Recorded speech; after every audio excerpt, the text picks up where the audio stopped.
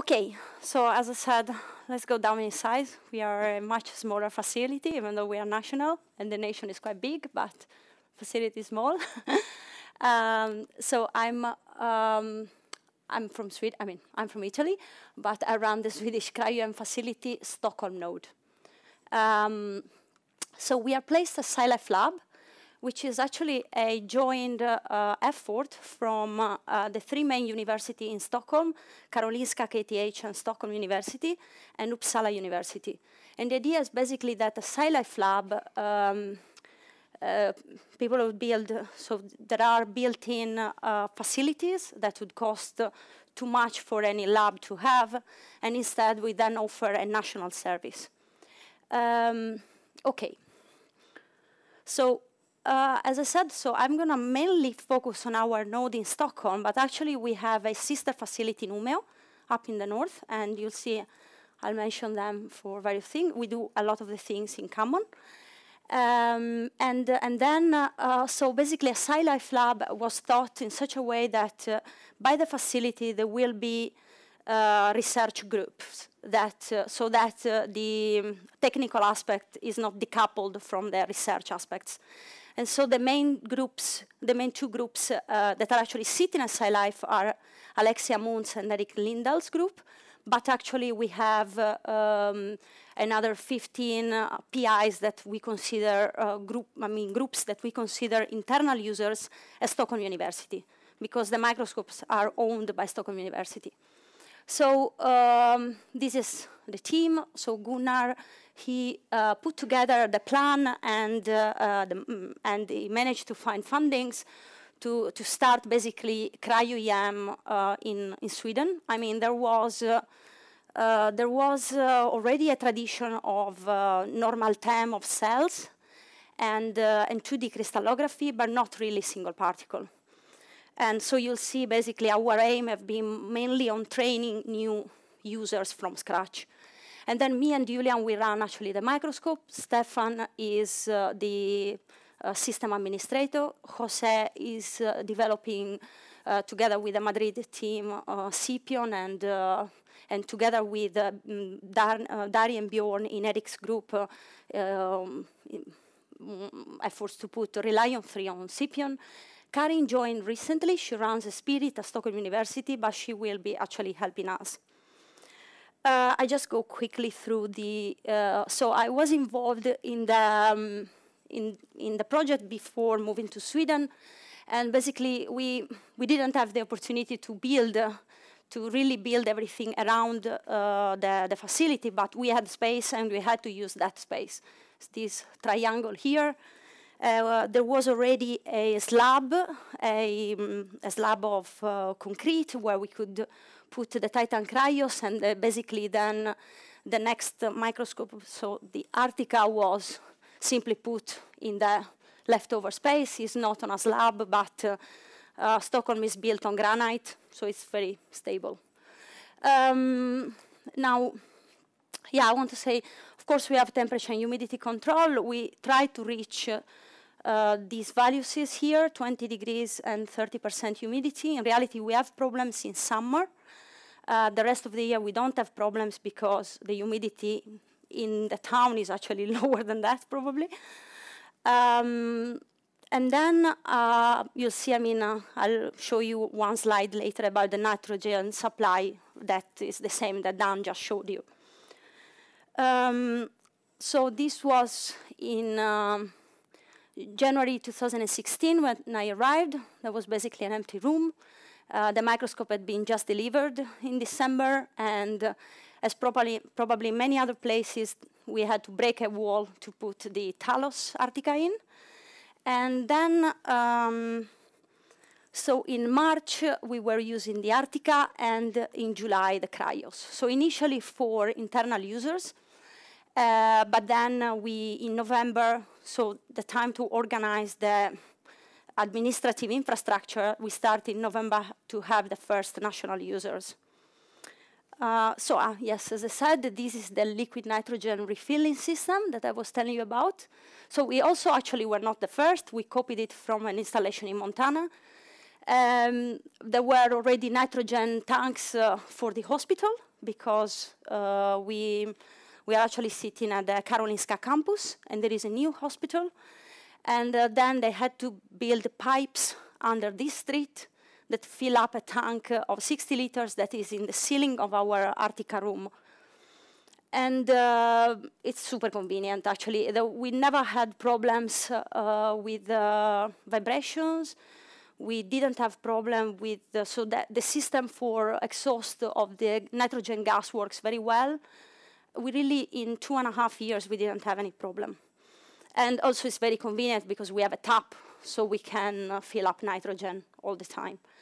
Uh, only problem sometimes we had was a bit with the pressure in this tank. And so they wanted to put a camera, but instead I bought on Amazon a pair of binoculars, and it works very well, and we can check uh, that. Very cheap. And so this is the uh, setup. I mean, you probably all know what the characteristic of a Talos Artican and a Titan Krios are. Uh, just I want to mention, okay, they're both on XFEGs. Uh, actually, now I I'd wish to have an SFEG instead to have less fringes, probably in the beam. Um, they run on, um, I mean, we use um, both EPU and SerialEM uh, for data acquisition, Certainly, I'm mainly for tomography. Uh, we, we use, we do all our processing in Scipion. We'll see more about it. Uh, then, okay, we have a Falcon 3 and the CETA on the Arctica. We generally use the Falcon 3 in counting mode for, um, for data acquisition and, uh, I mean, in linear mode, of course, for screening. and uh, on, on, the uh, on the Titan, we actually have um, Falcon 3 and the K2 post uh, uh, energy filter. And I have to say, we very seldom use the Falcon 3. We basically used it only when the K2 broke. Um, yes. Uh, now, just uh, because really everything had to be put on from scratch. There was nothing whatsoever. So just uh, I show you just a normal uh, auxiliary uh, equipment and one needs. And I have to say we started with a glow discharge from, from Pelco, but uh, I found it was not strong enough. And so we actually then mm, bought a glow discharge Q globe and works very well because you can actually make graphene oxide grids and, uh, and it's much more powerful. Now, many, all of you that have a Pelco, pro you probably know that it's very easy that this chamber chips and uh, it's super annoying. Uh, at, the end, um, we came out with, uh, with a fix using dental paste that uh, people uh, in our light microscopy facility next door use. And, uh, and it actually works quite well. At, at least you can kind of like build a ring, a rubber ring around the chamber, and uh, it resists very well. So that I have always some left, I mean, some clean and proper um, unchipped uh, chambers, but in case they chip, they, they break, we, we just have this. Now, um, so what is the uh, peculiarity, I think, of our uh, installation is that, uh, as I told you, there was, there was basically, I mean, in Sweden there are not many um, screening microscopes around. I mean, there are microscopes for material science, but not many for, uh, for actually life science applications. So people really, there are many, many people that need to, to do screening uh, they come with an Eppendorf tube, basically. And then we also have this, uh, this thing, so it was quite good because when the money was, uh, uh when we got uh, this uh, mm, big bunch of money from the Wallenberg Foundation, it was good because Stockholm University could secure half of the time for the internal users. So basically we have half of the time is for people from Stockholm University, and which we call internal users, and half of the time is for external national users, so people coming from all the others university. And we really have people coming from Lund, Gothenburg, I mean, um, Linköping, uh, most, most basically of the other university in Sweden. uh, so what, what we do is that we book our time every other week for, uh, for external users. And, um, and then we treat the two type of user differently because there's no other way, basically, at the moment. So for internal user, we go through training so that uh, once they are ready and they can use the microscope by themselves, uh, they can uh, independently book on the booking system. Now we have quite long waiting time actually at the moment, um, like three months or so. And then uh, national users instead, they apply through a national portal and uh, uh, they, I mean, I'll show you more the details of this. And, uh, and then, depending, so they can apply for both for screening or for data acquisition. And uh, when they apply for screening, yeah, we do generally the screening on the Talos Arctica, and we are not very happy about it. when they apply for data acquisition, it means that we have already optimized grids, and we're also very happy that uh, recently, uh, I mean, like six months ago, Umeå really started full speed to take also national users, and so we, sh we share the burden. Um, now, so for internal users, uh, the training, what does it consist of? So we have kind of like three sets of, of training. Generally, like mm, people train on their own sample. This way we can optimize the time and uh, um, we, we, choose, we show them how to choose grid, make carbons, make, make supports, uh, Mm, plunge, of course, I mean, freeze. Sometime in the past, I mean, I should remove this. We did a bit of negative stain, but it's not really, I find it's not really efficient on, a, on an autoloader system. And, um, and then we show them how to load uh, thing on them into the microscope. Uh, then uh, generally this is what they learn, let's say the first day, and then on the second uh, on the second round of uh, of training, they learn how roughly, I mean, the microscope parts and how to do very basic alignments, but, but we don't allow them to touch the gun, just to do basic pivot points, beam shift, and uh, coma correction with auto CTF. It's solid and uh, it's enough. Um, and then, yes, we, we show them how to use EPU or SerialEM. We also use EPU for, uh, for screening uh, without going through the whole process. It's very fast just to switch optics. And, um, and then we, uh, once, generally, once they've been doing this for quite some time on the Arctica, internal users are very ready to just go on the, on the Krios and, uh, and just learn how to use the K2 with the energy filter. And then every year we organize an image processing course of one week uh, to teach them and also external users a bit, uh, I mean, some basics of image processing. Now, so this for internal users is quite nice. We have maybe um, 40 to 50 people trained now that are, um, they are um, independent. Uh, for, uh, for national users, we cannot really offer that yet because uh, the waiting time is too long, so it will take uh, too long for them to, in between one session and the next, to actually be trained. So at the moment, we do everything ourselves. Now, they apply through this portal. So uh, I have to say that the facility at the moment is national. This was bound to the Wallenberg uh, funding we got. So we first, our first main goal is to, uh, to form the Swedish community uh, but you'll see later we have a lot of ongoing plans with the rest of the Nordic countries, and we actually hope that we'll be able to take maybe 5% of the time for also other, uh, mm, I mean, people from wherever in the world. Um, so at the moment, as I said again, uh, in the beginning we were asking for some evidence of 2D classes and realized it's really not possible. I mean, people have no possibility to do that. So all we ask for is for sample quality, homogeneity, monodispersity, basically some any evidence that it's worth putting it on a microscope. Uh, so we then we also have a system of application that uh, we copied from Diamond, basically, where we have 95% of the 80% of the time of the microscope allow to, uh, for BAG, uh, BAG time. This is because now we built enough uh, users from different institutions that they can join themselves into BAGs. So we have five BAGs. We assign time for one year, and we assign this time in between us and, uh, and Umeå. Actually, here there is Michael from Umeå that is sitting down there. Um, and, um, and then we have 5% of rapid access, which is still so not, the, not quite the rapid access because we assign time on the next quarter. Um, we charge users, we charge uh, 5,000 SEK, which is around 500 euros per uh, 24 hours. Uh, but still, I think we are among the cheapest facilities in, in Europe.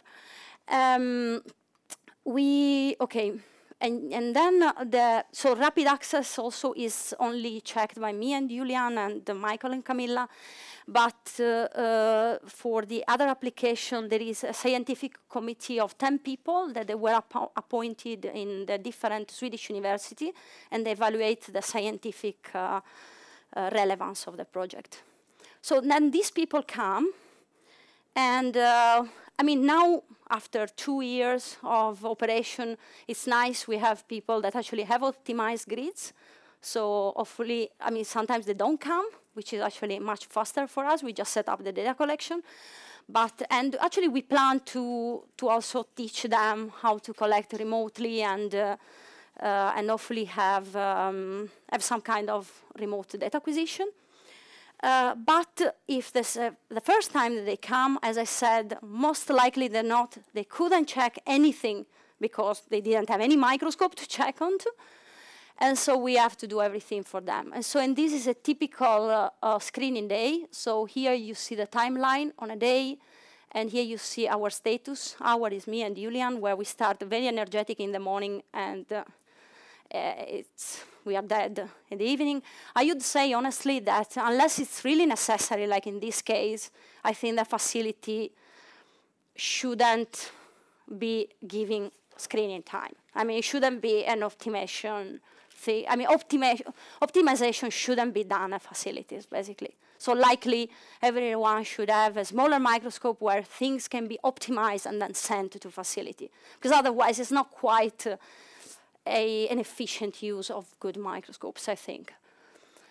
Um, anyway, starts all like that, nine. What we tend to do is to freeze eight to 12 grids now we are teaching some BAG users at least this first step, but in general, we've been basically freezing quickly for them, and we tend to check two, three different concentration, and maybe grid with and without support.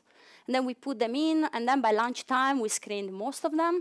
We use EPU for screening, as I told you, so it's very quick just to switch optics and, and check three, four different areas in the grid with different ice thicknesses. Mm, then uh, but then, if uh, everything went, I mean, if actually, if people were luck, lucky, uh, if we had luck, we, uh, we can start the data collection. So around four, then we can start uh, an actual data collection on EPU or, uh, or SerialEM.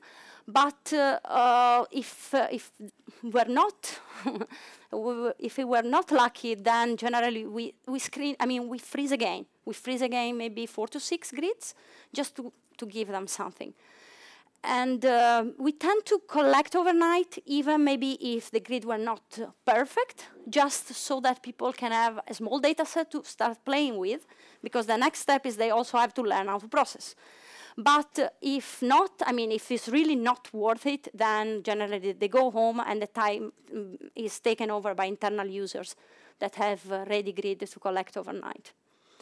Um, for tomography, we do a bit the same. Generally, um, you collect maybe a couple of tomograms du during the day and show them how to reconstruct, and then set up an overnight data collection. Here are some examples of just like, for example, um, an optimization that took five screening sessions of Talos from aggregated and falling apart to nice. And then this is another one, very Again, very aggregated, very invisible on carbon support, very preferentially oriented on graphene support. and then finally, after a lot of more, um, more screening, nice sample. And then I'll show you a bit more of this project. Now, how do we put together all these uh, variety of things because basically we have internal users that have been booking in the booking system, external users that also been booking booked by us on the booking system, but that they had some information about on the application portal.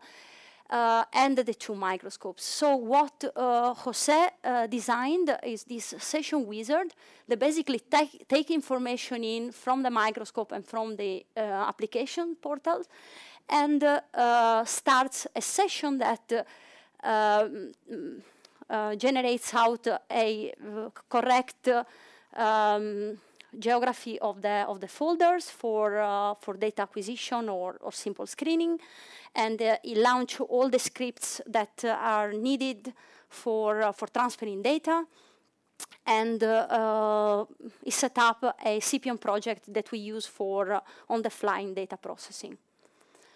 Uh, the wizard looks like this. So you see, okay, he designed the two microscopes and uh, uh, whether the project is nationally internal or is one of us. Uh, said it's, uh, he put Scipion and then none. This is not quite true because actually then we uh, we have so I have a Windows partition in our working station, and so if one wants, can run warp for on-the-fly data processing. So basically this works like that. We have an operator that basically talks to the microscope uh, to a working station with this characteristic where we perform uh, processing. We actually perform a part of the processing in the staging server where the data are, are also written. And then uh, a data server that is basically the same as the staging server is actually visible by external users, and they can access using a password and just retrieve their data. And that's generally done during the data acquisition already. They connect, they are synced to the institution because after 15 days, we delete the data. I mean, not so strict, but that's the policy. um, now, this is our uh, setup and uh, uh, infrastructure. I mean, for I mean the IT infrastructure. I, I will really not go into details, but you can me. You can have this slide, you can ask, and then maybe you better ask Stefan for more details. And um, and now, yes, so as I said, so once you launch, launch your wizard, then you, you get asked what type of uh, pre-processing you want to do.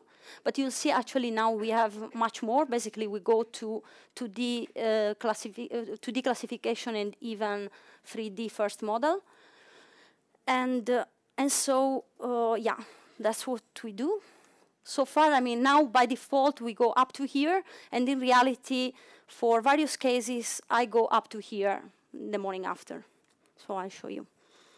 Um, yeah, these are the protocols we use basically. So generally, we use generally MotionCor2, and uh, I tend to use GCTF for uh, for CTF estimation, but you can choose whatever you want inside Scipion.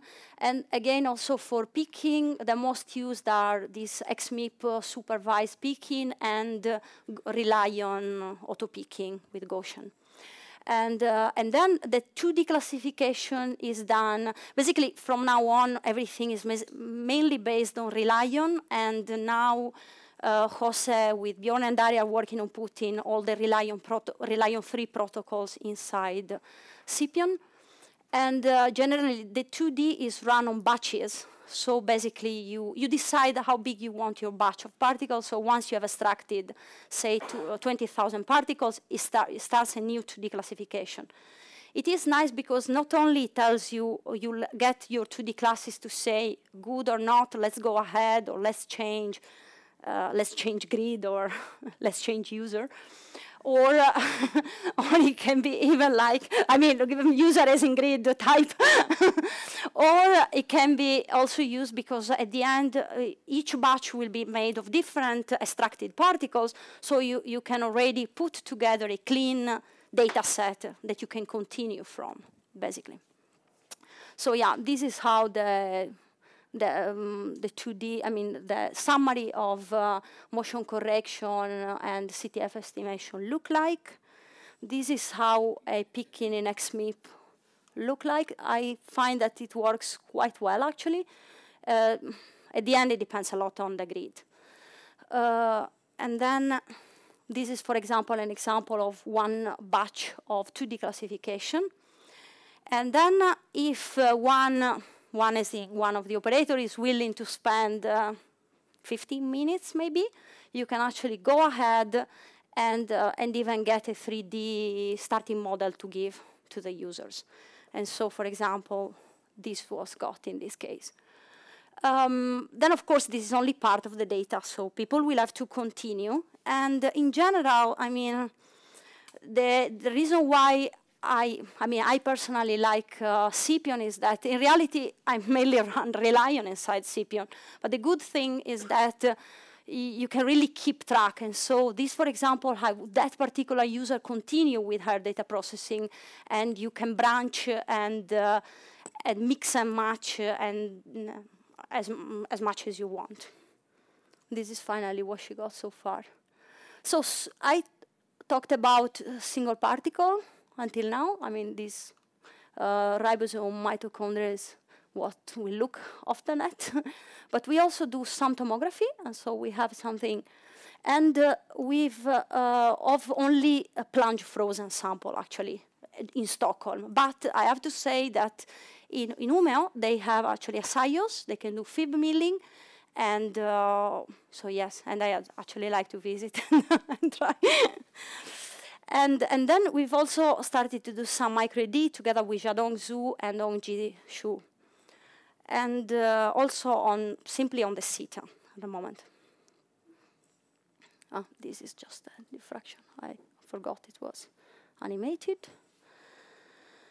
Um, okay, so this is a tomographic example.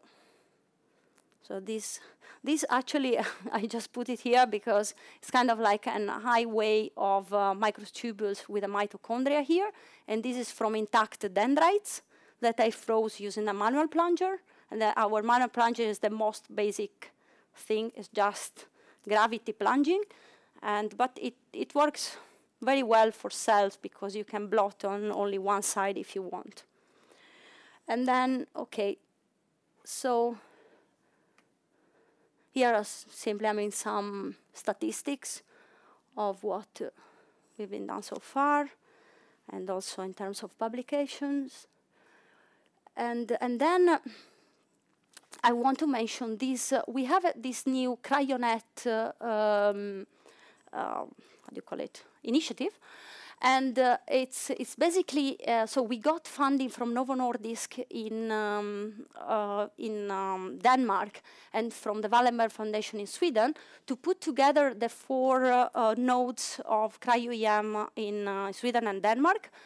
so Umeå, Stockholm, Aarhus, Copenhagen. And, and we have money to exchange personnel, having meeting among us, and um, organizing courses, and uh, yes, and so we can actually also fund some research projects if we want. So I think it's quite a good example of trying to now get also bridge towards the rest uh, of Europe. And, uh, and, and, we also want to extend to the rest of the Nordic countries, uh, Norway and um, uh, Norway and uh, Finland. Um, so I, then I was saying, okay, for future uh, future plans is, I mean, we will. Um, uh, we, we, we got funding to buy a um, to buy one of these uh, Spotiton or Chameleon or uh, Easy no Vitrojet I always call it EasyJet and where anyway basically to, to to buy a new uh, system for for sample preparation uh, yeah, then I'd be happy to hear your opinion about these if you if you could try any of these. And uh, yeah, and then we'll we'll we'll put more effort on electron diffraction actually. Um, okay, and then with this, I want to thank uh, our uh, our supporters basically. I mean the Wallenberg in particular, uh, but also Erling-Persson and the Kempestiftelserna they supported a lot Umeå.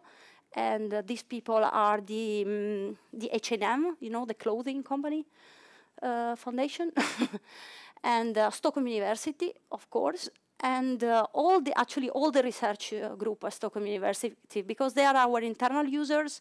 It's very nice because their projects yeah develop fairly well, and yes. Um, and then I want to thank actually our engineers because they are very useful. They are very very helpful. Uh, Masanori and uh, Dennis, and that's all. And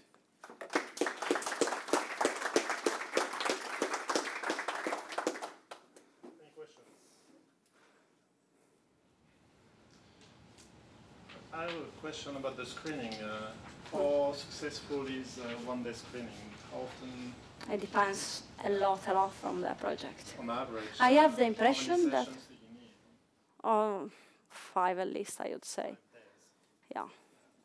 But it really depends a lot on the project. I mean, uh, you know, there are people that come uh, with ribosome with some extra factor, and those generally work fairly well because, of course, they, they might not know yet if they have a factor attached or not, but at least we can collect, and then they can figure that out. Or, uh, yes, this type of thing. Uh, or uh, actually also some tomography project, I mean, where people want to, for example, we had some extra vesicle or uh, some clathrin coating from ex vivo. I mean, this type of thing, because then you can collect enough tomograms on a screening day, and Talos works fairly well for that. And then you can have a, some, they can have some information. But Maybe I missed it, but how many users would you say you have annually? So internal trained 45, 50, and uh, external. I mean users. Uh, I I don't know. Projects we run maybe 100 projects. Yeah. There's uh, yes, there are various like like maybe five to 10 PIs in each BAG. We have five BAGs, And training is on a and we one, one-on-one or? No, no, I mean, no, and actually, actually from internal users, it also is happening more and more often that some good PhD or postdoc trains others, and then maybe they ask for double checking things, but it works fairly well. For BAGs, uh, for for BAGs user, yeah, I mean, we would really like to to start training them. I think. Know, Michael, what do you think about it? And uh, yeah, because a question for your uh, automation. You use a Scipion to run all the processing. Yes. Is it also running on the online or just offline? It's, uh, it's a how long time it ah no no, it's it's during data acquisition. So yes yes yes. So it's basically like we have 48 hour data collection, and uh, after 24 hours you you have 2D classes or more if you want, So, but only on. how many computers you need to uh, support the computer? Just have to finish all the computation during the collection. Uh, yeah, because then comes the next user. So that's so what we do is this that part of the pre-processing is done on the staging server, and so basically we occupy four GPUs per data acquisition. But then once your data acquisition time is finished, also your pre-processing time is finished. So of course you, you don't get all your data set pre-processed, only part of it. So you mean only the pre-processing for the others of such as 2D classification and 3D, you also do online or offline? Also Also online. Online, yeah. I mean, if online for if online means during the acquisition, yes. On a subset, of course. All right, last question. Okay. Do you offer any services then for users to continue processing the data, or do they have Hmm. to look them themselves? Okay, so officially no, but in reality yes, because I mean it's a bit of a pain if, if it is a bit of a pity if something is working, you don't want to just hey ciao drop after all the effort, no. So often people, I mean, if they can, if they are in Stockholm area, they come back, but not really. We don't sit with them. We, we don't have the human power to do that. So what we do is that we we help um, them like, okay, I think that at this point you can try A, B, C, D, try classifying this way, try this mask, this type of thing, but then they have to do it themselves.